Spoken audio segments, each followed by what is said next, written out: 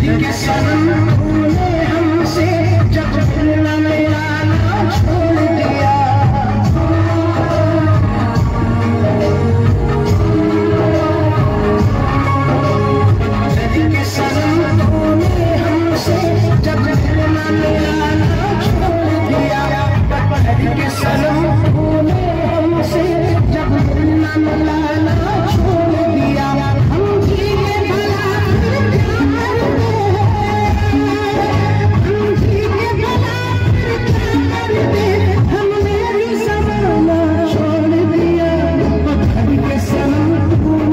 Thank you.